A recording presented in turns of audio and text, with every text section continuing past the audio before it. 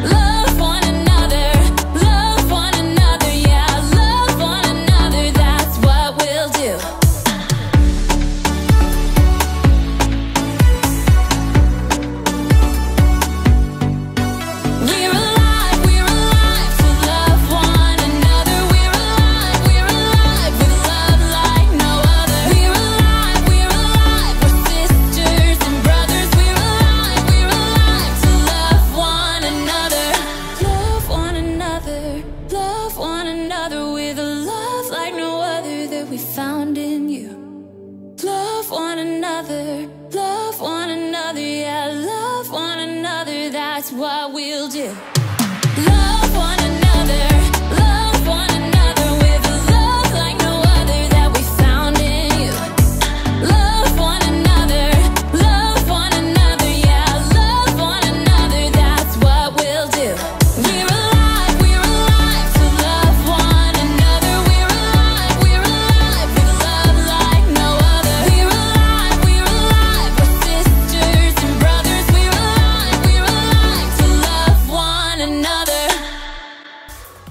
It's so good to give thanks to God and to sing His praises. I'm so thankful for this time where we get to stop thinking about everything that's going on in our lives and instead put our focus on Jesus.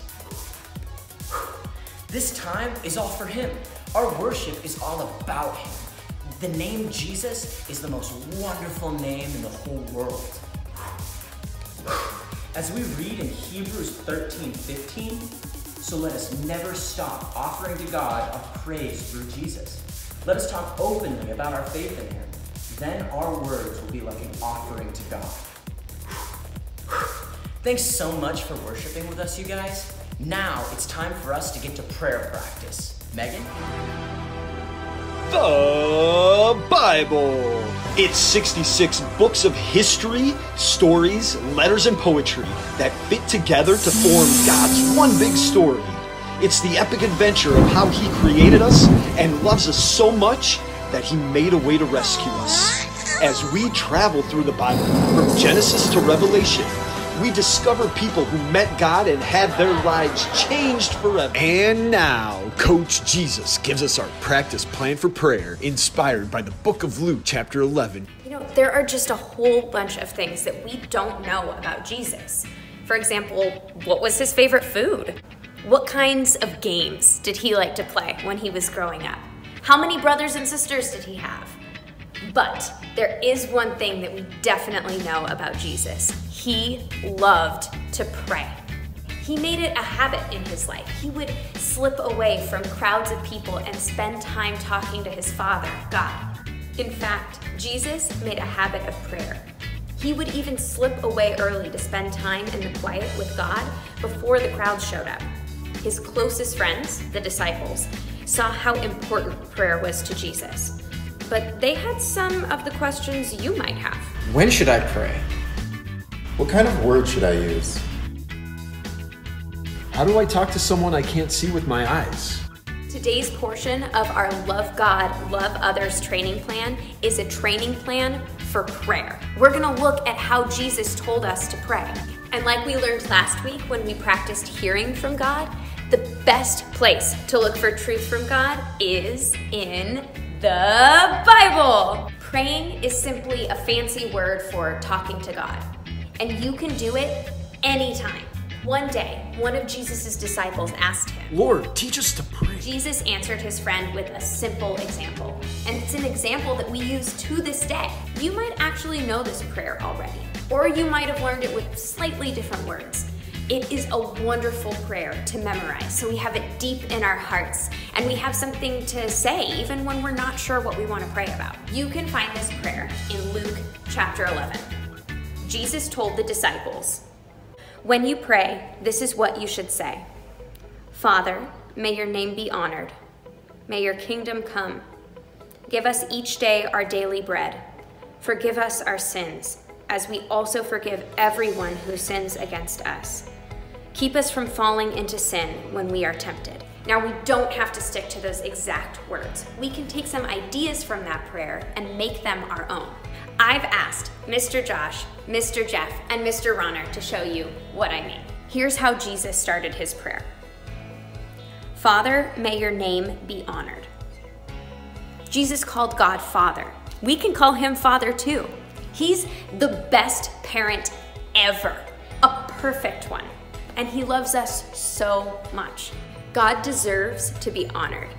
He made heaven and earth. He made each one of us watching this video and those of us making it too. He made everyone you will ever meet. He made us in His image.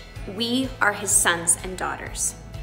When we pray, we can say, Father, may your name be honored, or we could say something like this God, thank you for being my father. Thank you for loving me. I praise you, God, for who you are and for all that you've done in my life. Thanks, Ron. See, our prayers don't have to just be about what we want or need. We can take time to honor God and thank Him for everything He's done. Let's look at the next part of the prayer. May your kingdom come. Prayer is not making God do something for us. God is our king.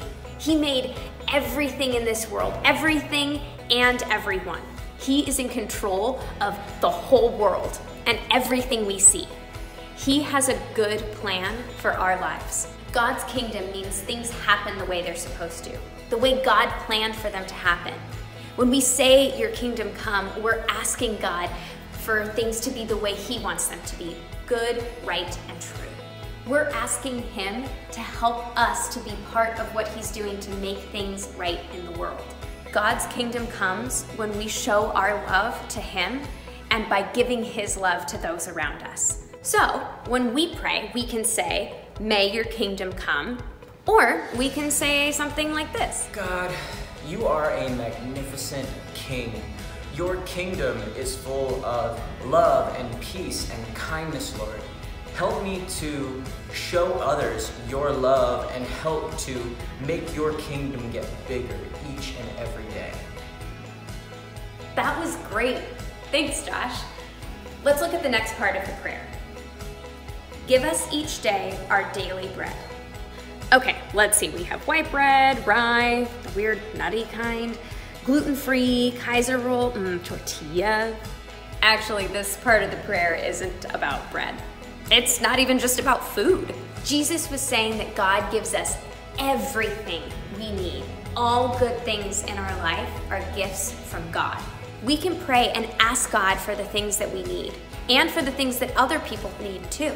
Praying reminds us that God is the one in our lives who truly takes care of us and is always there to care for us. When we pray, we can say what Jesus said Give us each day our daily bread.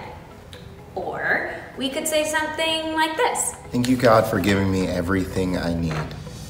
From the breath in my lungs to the beating of my heart. From the sun that comes up in the morning to the rain that comes down. Um, you give us food and family and friends. I thank you for everything that you give me, Lord, and I pray that today you would give me everything that I need and that you would give other people everything that they need. And we know that we can trust uh, that you work all things together, Lord.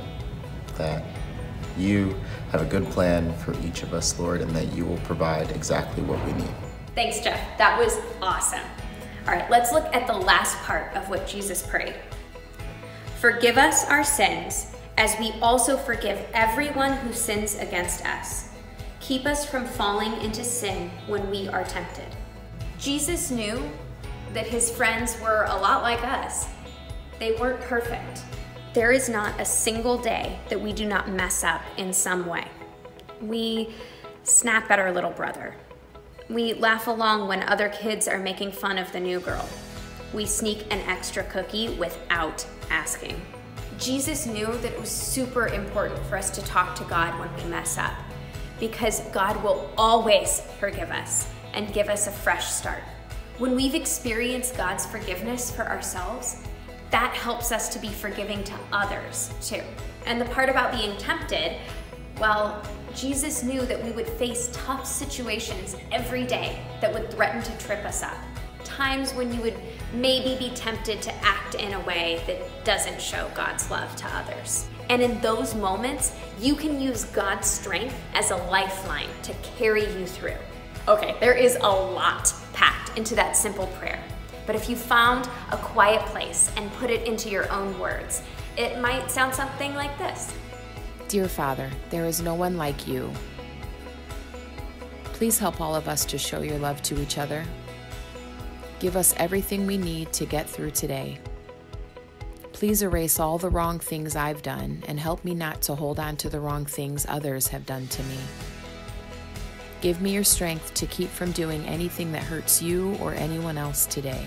In your name, amen. Do you see how we can say Jesus' prayer in a lot of different ways? Of course, it is great to use the words that Jesus used. It's actually a great idea to memorize this prayer. But it helps to know that when you pray, you, there aren't any exact words you have to use. God loves it when we get creative. God loves it when we take the ideas from this prayer and make them our own. You can talk to God anywhere, anytime about anything. You can say what's on your heart and mind and in your own words, and it always helps to practice.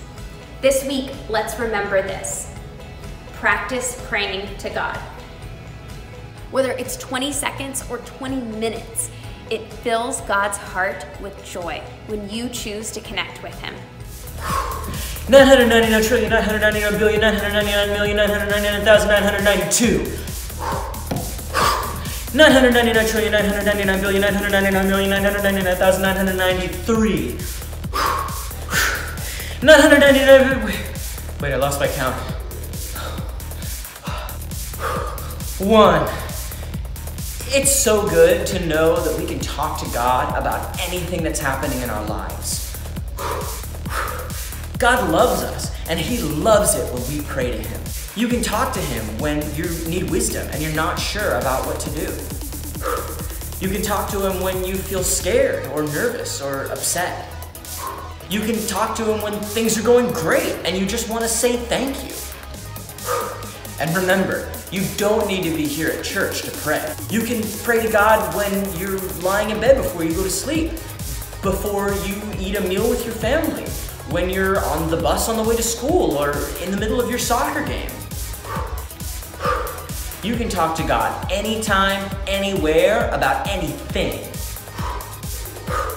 Praying is a great way to stay connected to God and to grow closer in your relationship with Him. That's why praying is an important part of our training plan. Remember, practice praying to God. Whether praying is something that you've always done with your family or if it's just brand new, remember, God is always there for you.